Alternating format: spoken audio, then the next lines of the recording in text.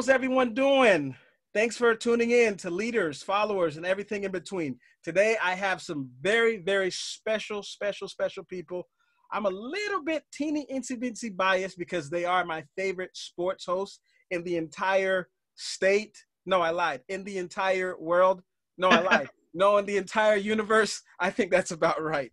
So today we're going to be talking about sports. And um, as I was talking to Zaslow earlier, um, sports plays a major role, not just in our lives here in the United States, but globally. Since the beginning of time, human beings have been taking little objects, turning them into little circles or little balls, and creating sport, creating some sort of social uh, interaction. So, sports is very, very important because we get our um, we get our training from like four major places. Let me grab something really quick. We get our training from four major places. I was telling Zazo about this earlier. So those uh, four places is number one, our homes through like our grandparents, our parents, and our siblings. Two is our religious institutions, our churches, our mosques, our synagogues. Four is like the military or schooling. And uh, fourth is sports, right? So here's the deal like about a third of homes right now, or about 15 million kids, are being raised by single parents. So that means a lot of times young people they don't they may not have the luxury of, of being involved in sports, whether they just don't have the time, don't have the resources, et cetera, et cetera. When it comes to our religious institutions, um, the Aspen Institute tells us that less than 20% of people in America are involved in religious institutions. So that is a pretty big deal. When it comes to the military, our military has been reduced to the same size as it was back in World War II. So that's about so about 80% of people that apply to even join the military are turned down. Now, when it comes to sports, I find that's a big area that we can we can actually capitalize on because 55% of everyone that attends high school in America plays some sort of competitive sports. So it's a big deal. So we have two people here that have dedicated their lives to not just being experts at sports, but knowing about sports and helping us, people that enjoy sports, get a chance to enjoy life. So please welcome Zaslow and Amber. How you guys doing today? Good. How you, how you doing? We uh we both appreciate you having us. Thank you so much. You uh you had a lot of nice things to say about us. Thank you. it's, it's, yeah, it's great to be here. It's from my, it's from the bottom of my heart. It's been a long time since I followed you guys and I'm very proud of what you guys uh, were able to do with your careers. So the first question I have for you is like, what got you into this profession? What got you into it? We'll start with the uh, ladies first. Uh, what got you into this, uh, Amber? Uh, for me, you know, growing up, I was a huge sports fan. I am unusual in the sense that I did not play sports growing up, uh, but I still felt very much part of sports because of uh, the experience of watching sports with my dad and my big brother, who I was really close with, and that was a huge part of our bond. Was watching particularly college football together every single Saturday.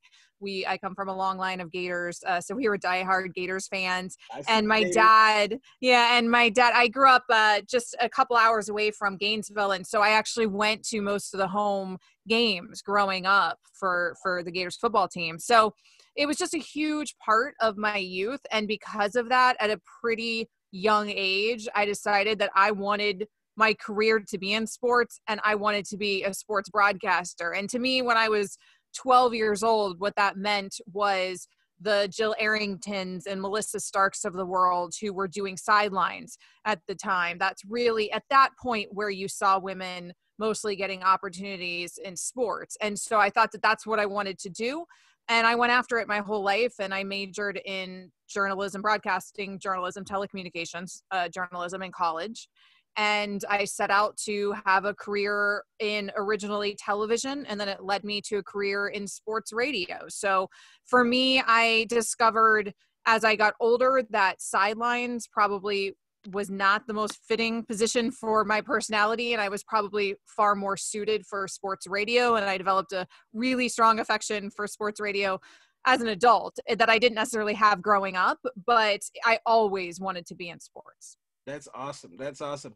And i must say you, you have a face for television, by, by the way. thank you, thank you. Yeah, it, it's it's better than having a face for radio, so I do appreciate yeah. that. I've been told plenty of times that I have a face for radio. I don't know if that's a compliment or a diss, but neither here nor there.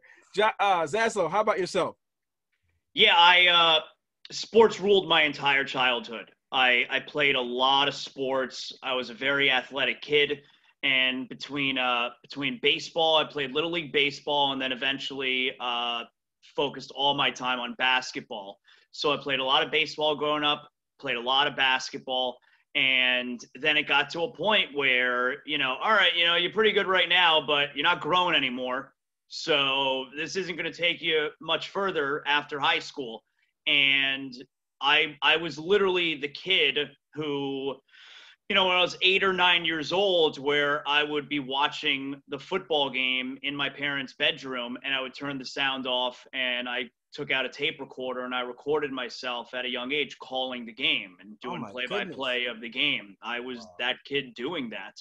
So, uh, I always wanted to do sports broadcasting. And then it got to a point where, all right, I'm, you know, the athletics are only going to take me so far. So let's focus on that part now, which I've always loved. And I listened to a lot of sports radio growing up, uh, all you know down here between Hank Goldberg and Jim Mandich, and uh, and as far as national goes, uh, I loved listening to Jim Rome as well, who was super innovative back then. We're talking 25 years ago, yeah, and so you know these these radio hosts were influential on me, and that's something that I was interested in doing. So I majored in it in school in communications.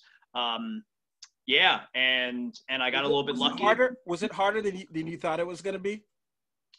Uh, no, the hard part was the hard part is getting a little bit lucky and finding that in like where is the break? You know there's a lot of talented people out there who don't get that break. I think amber's a good example of that. Amber's super talented and it took her until really you know uh into her early 30s to get that big break you know being our show. And like she got lucky in that regard that my former host you know found another job and we all of a sudden had an opening. And on you know on the periphery you know i kind of knew who she was and she knew who i was. And so that landed her a break. And my lucky break came where i was doing an internship right after school right after i graduated from university of florida. And the internship was at nbc6 down here the television station. Joe Rose it was the sport, the lead sports anchor, and at the time, Joe Rose was leaving his morning show at 560 WQAM for a new startup radio station, 790 the tickets. So I happened to be in the right place at the right time where, all right, this guy seems to like me. And there's a radio station that's starting up and is hiring people to do grunt work. And uh, yeah, and so I, I got the job there. So there's a lot of right place, right time. That I think is the hardest part is yeah. is finding where, you know, kind of your kind of the stars align. Was it was it hard was it harder for you? I know Amber you said it was in your early 30s that you got into the business. Was it harder than you had anticipated?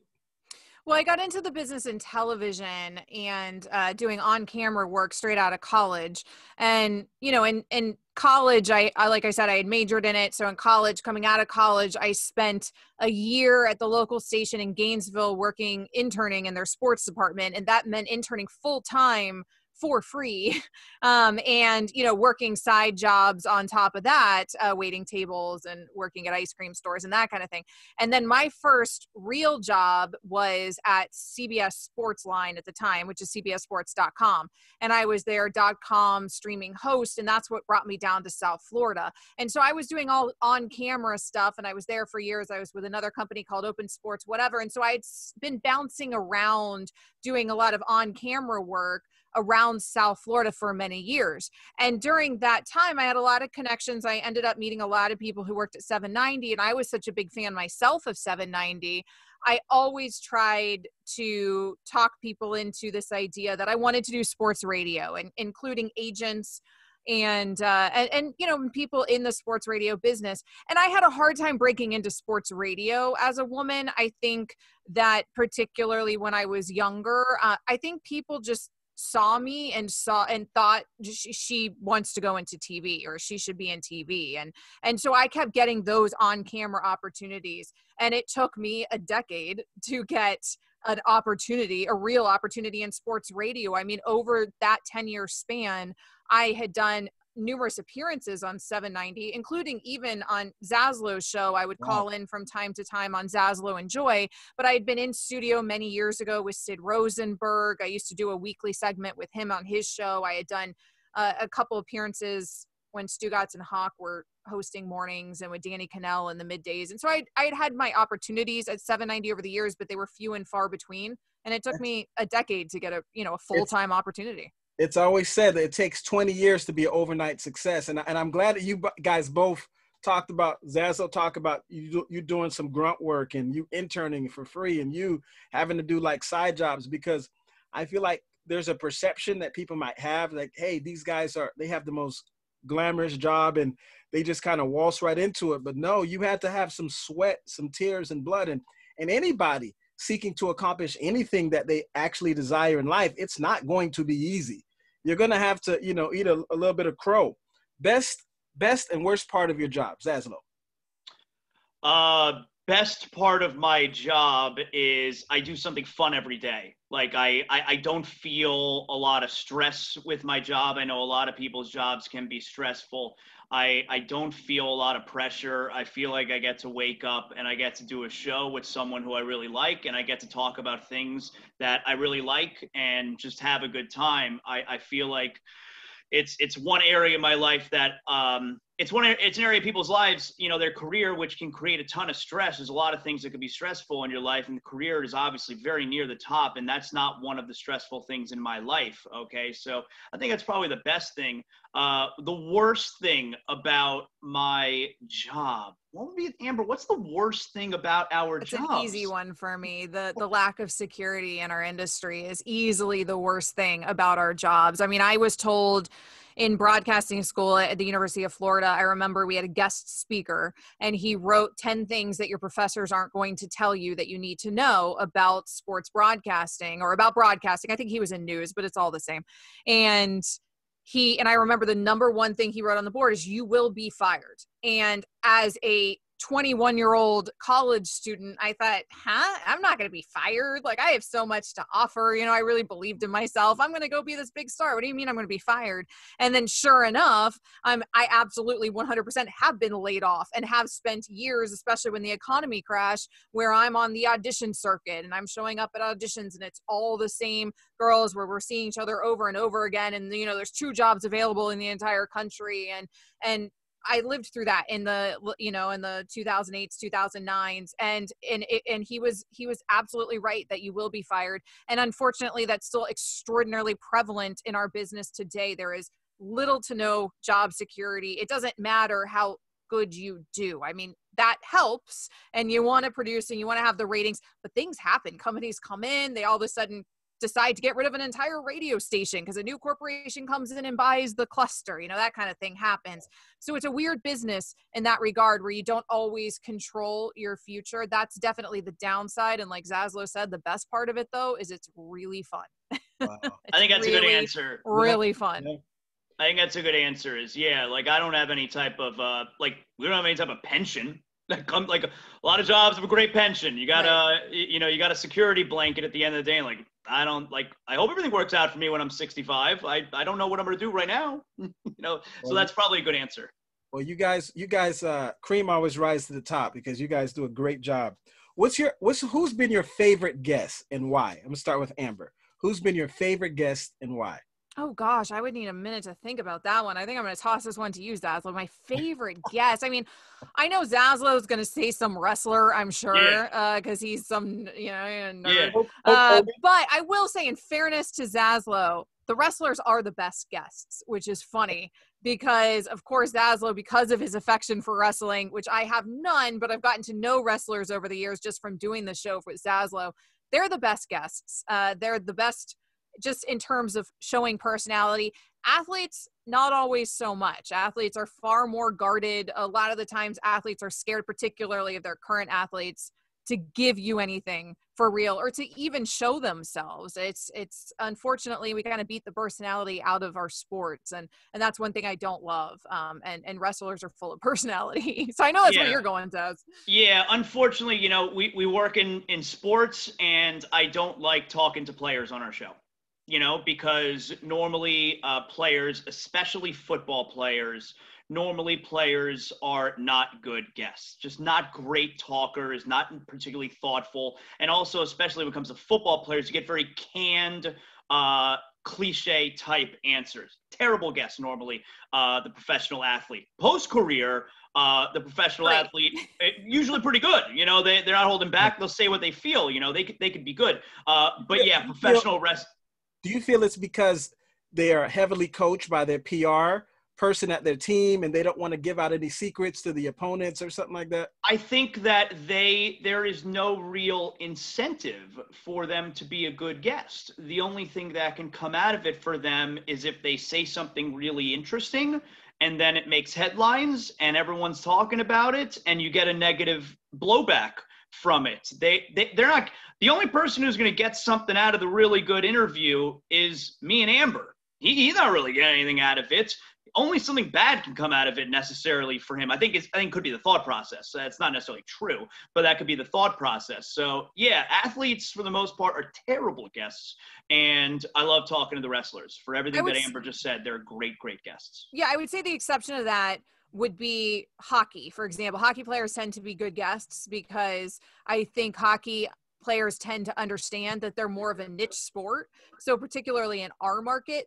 they need the publicity. So they're so they're happy to be on with you. Mm. But to Yeah. Zaslow's point, you're a football player, you're a basketball player. You know, you don't you don't stand to gain much while your career is actually happening to give the media much. And so it creates this strange relationship where the media is always there and always present and is necessary in their careers, but they also spend their entire career trying to trying to not give you anything of substance Wow. and then they crave that attention once they're done with their careers. Yeah. Um, so it's interesting in that regard.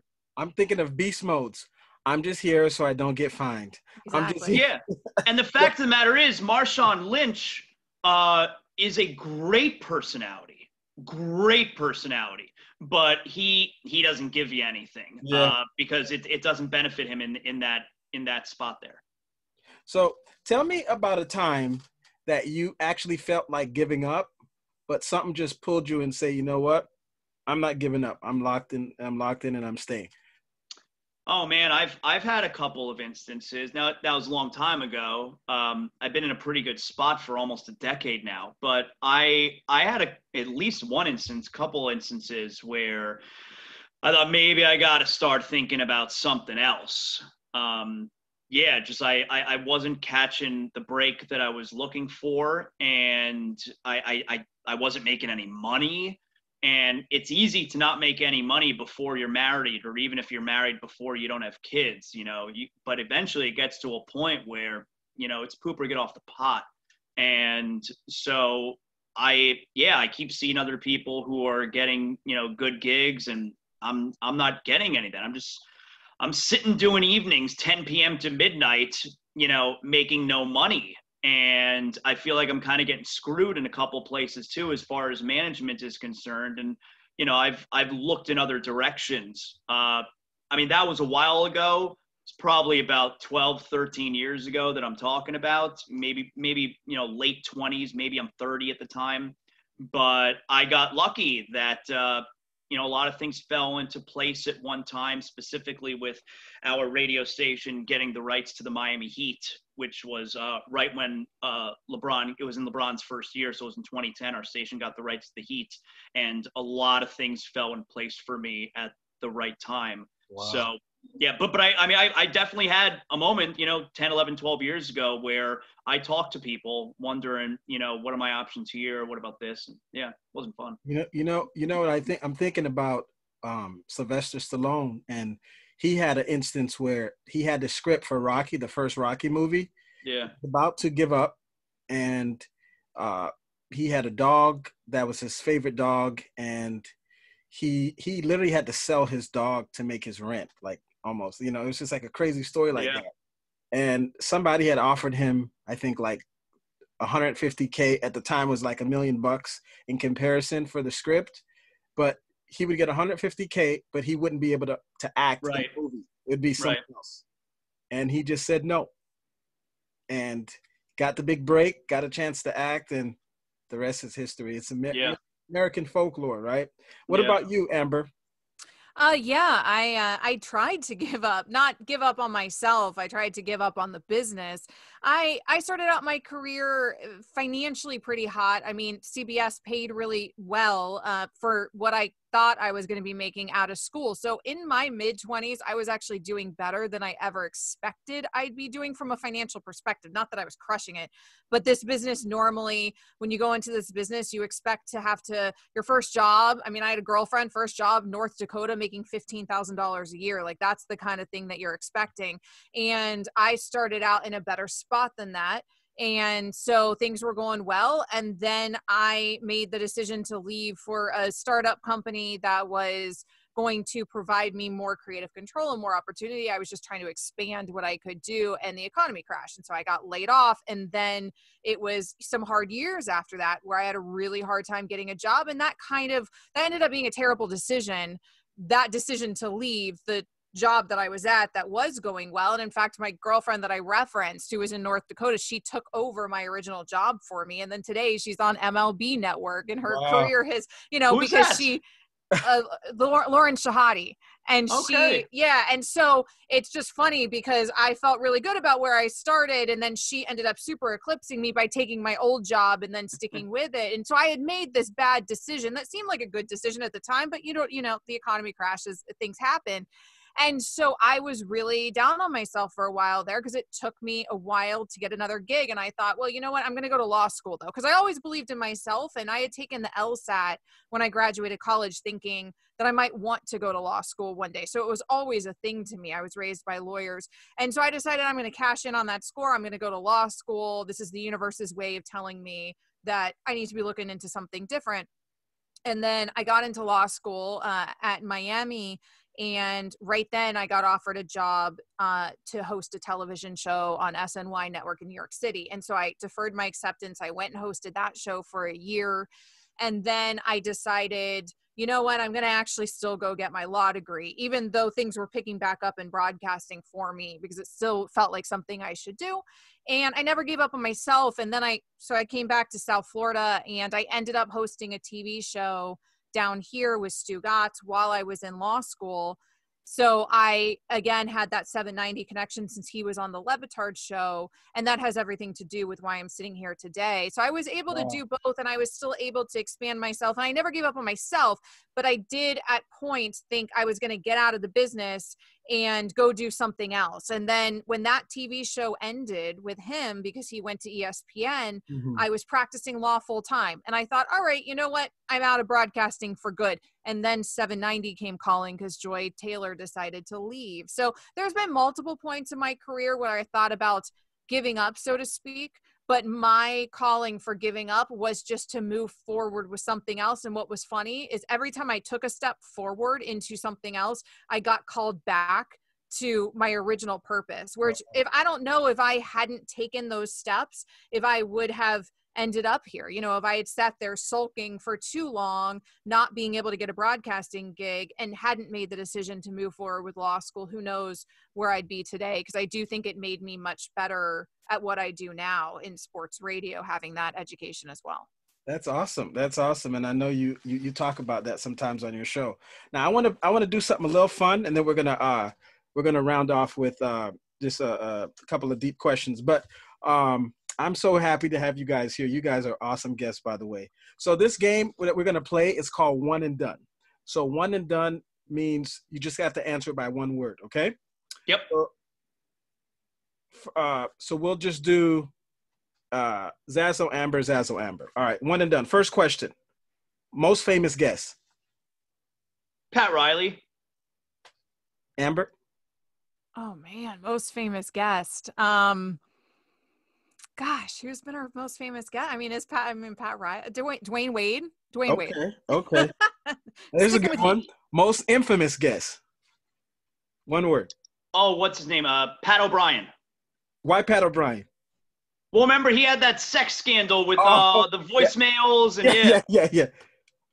I don't have a good infamous guest. Um, there's got to be somebody that was embroiled in controversy after they came on our show, but I can't think of anybody, frankly. Anthony Weiner? No, never mind.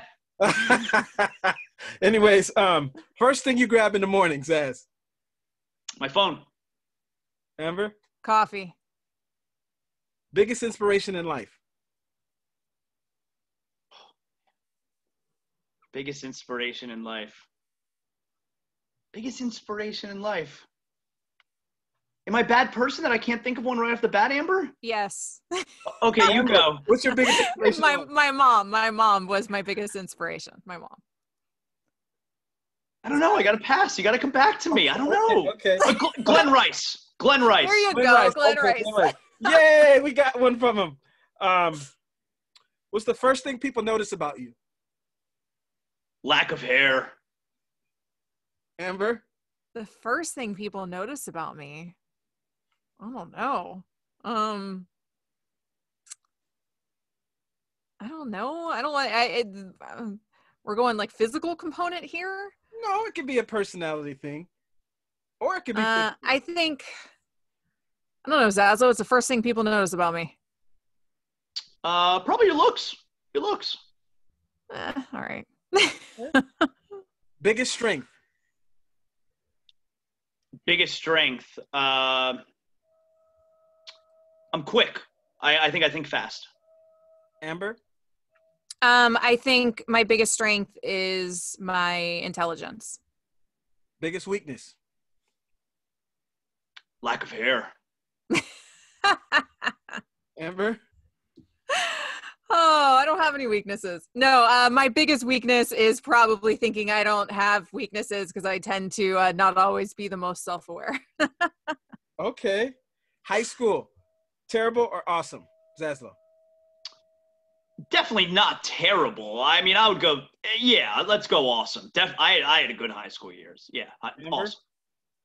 yeah, I, I would say, uh, you know, so awesome, but not not the peak, not the peak of life. I never wanted high school to didn't be the peak. peak. I did not peak in high school, but uh, high Yeah. school was a lot of fun. Okay. Um, cats or dogs? Dogs. All of the above, but I have dogs. Okay. Best adjective to describe you when you're drunk? Zaslow? Uh, best adjective to describe me when I'm drunk. Flirtatious. You I'm sure you always have to be drunk? he probably does actually he probably does he comes out of his shell a lot more um i'm always flirtatious but uh, i'm fun i'm a fun drunk okay. i'm not angry Absolute biggest pet peeves Zaz. Uh, biggest pet peeve. Uh, stupid people. Yeah, there's a lot of those people in this world. Uh, Amber?